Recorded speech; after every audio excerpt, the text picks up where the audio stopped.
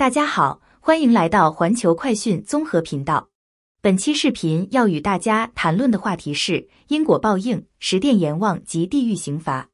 上一集为大家讲解了十殿阎王之第一殿秦广王，未看过的朋友可点击屏幕右上角的链接。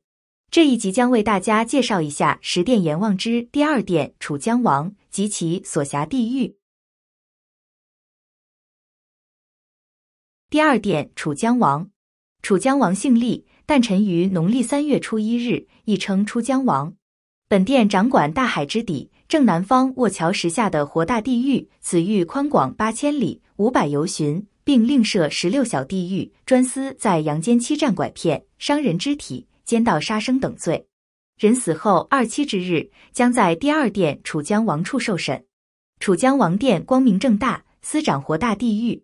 堕此罪犯多是为伦常、乱法纪、造业无数、至死不悔之恶徒。如在阳间欺骗大众、玩弄法纪，导致灾难；或利用权位巧取豪夺、心民高知；或符咒惑人、谋人财产；或拐诱少年、逼良为娼；或阻遏制帮派、走私贩毒、鱼肉乡民；或诈赌坑人、非法骗婚、伪造证券、贩卖伪药、扰乱秩序、危害健康等等。此殿判案严明。按罪分发上中下之狱，随业轻重，各受其报，或一处报，或多处报，乃至十六处之多。此殿设有火柱、铁床、钢叉、剑叶、犁地、鞭挞、灼节、寒冰等小地狱，各个刑罚严酷，无不悲惨难熬。给付抛接狱，一时满足心中欲，兑换无间辗转行。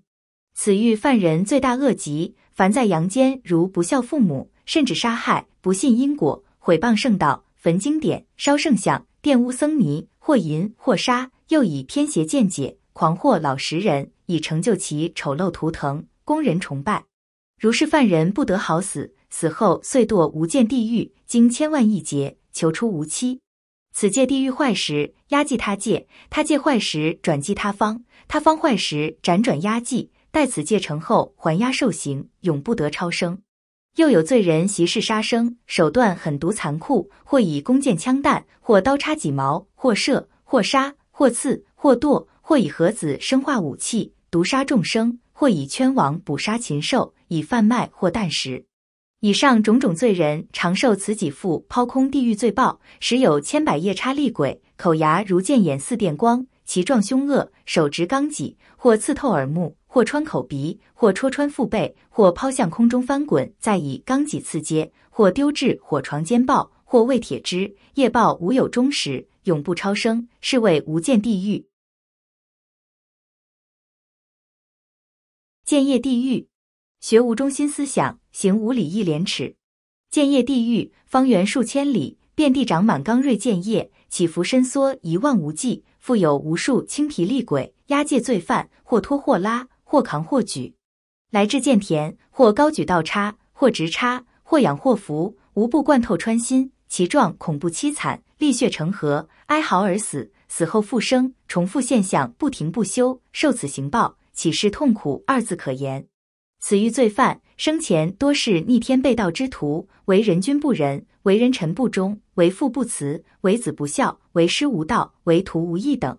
或为君者仗其权位，自情妄为。不能体恤民末，导致国困民穷，或刀兵相残，殃及无数生灵；为人父母不能互相体谅，任性自私，导致家庭破裂，一下子女失去护士，沦落风尘；或为偷盗，或吸毒，自残，任其自生自灭；为人师表，不恤百年树人之德，轻率删除伦理道德教育，妄加无益身心教材，导致学无中心思想，行无礼义廉耻，不但动摇国本。且滋生无穷后患，一切罪孽不离自私自利之心导致，一切酷欲皆是自己恶业感召，造业越深，受报越重，觉悟越慢，刑期越长，因果相循，纤毫不爽，宜深省慎思之。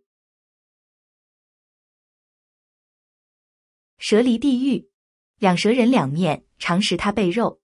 孔子之交有四科：德行、言语、政事、文学是也。言语仅次于德行，可见其重要。善恶从于心，是非出于口。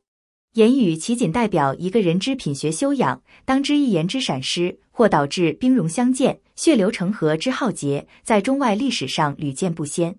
故《论语》曰：“一言可以兴邦，一言可以丧邦。”又云：“为政不在多言。”可知谨言之重要性，不损德行，不伤和气，知礼守节方为善言。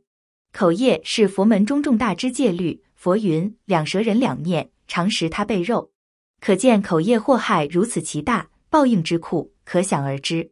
例如诽谤圣道、坏人心思、造谣生事、挑衅煽动、讹诈老弱、激人为善等，死后必堕拔舌地狱。在此受报罪犯以铁钩拔舌，挂于离弃，深耕污秽心地，倒爬逆行，昼夜无休，离上千年万年，直至良心发现为止。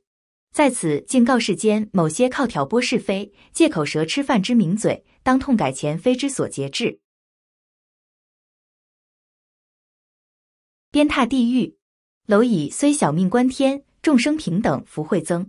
圣道无不倡以众生平等，不但人与人讲求平等，人与动物之间也讲求平等，没有高等动物或低等动物之别，命无贵贱，及生存权不容侵犯。人类最大的罪恶是不平等，靠其人多势大，武器精良，搞种族歧视。小者虐待弱势，大者斗争战乱，导致生灵涂炭。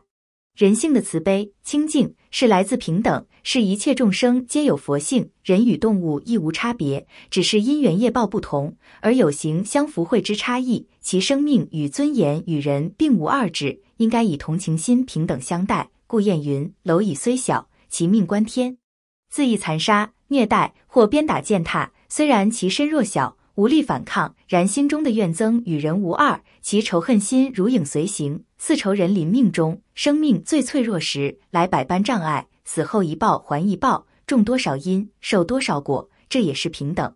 鞭挞地狱来自凶残仇恨、傲慢嫉妒、满腔愤懑，难以平息。丈鱼的皮鞭在厉鬼抽踏下，皮开肉绽，血肉模糊，顾不得你生前的荣耀与尊贵，或是强悍与凶暴。堕此地狱一无所有，只有死不了，活不成，直到千万亿年罪业消尽而止。报应之可畏，当警戒醒思了。贞洁地狱，心业化失，自业化作。杀业源于凶残，口腹从于贪欲。世间不少人贪食众生肉，嗜杀成习，终日杀、剁、砍、截，或生吞活咽，或烹煮蒸爆。最终送进五脏坟场，或云满足口欲，或云强身补气，谁知补了身子，坏了良心。堕此地狱，只有刀叉事后，狼群环视，受报罪人拖拉上真实，活杀生剁，斩首截肢，尸块横飞，血肉模糊，众生争食心肝肠肺，看他们争食一幕，也不过是我们生前嗜口欲之写照。经云：心业化失，自业化作，如是因，如是果，怨谁呢？厉鬼现出你生前残酷模样，手执利斧肢解你的身体，四周狼群环伺，垂涎等待，不正是你自己感召来的？寒冰地狱，冰川万古有时化，难解世间冷酷人。阴森森，永无天日；冷飕飕，寒气沁骨，冰山环抱，火兽眈眈。此处正是所谓之寒冰地狱。堕入此狱之人，皆是冷漠无情。见死不救者，如见踢弱小众生于深渊，令其溺死而取乐者；或捕杀水族贮放于冰库中，令其急速冻死者；或将断气未经八小时之人送进冰柜，令其急速僵冻者。如是之人，及其不仁不孝，必得此欲报。亦有仗势欺人、见利忘义、不念旧情、恩将仇报、贪图财势不择手段、抨击打压故旧亲朋者。或以恐吓手段逼人就范，或以姿色、财富骗人感情，逼人婚姻。一旦得手，又弃如敝屣，令人寒心，走上绝路者。如是不忠不义、冷血残酷之人，在此地狱，当须动出温馨方消其业。恶鬼地狱，千贪无福怒嗔炽，一念倾心火上冰。前有寒冰狱，此有火炼处。此处铁山万仞。四面环绕，周围数千里，一片火海，不毛之地，称之为恶鬼地狱。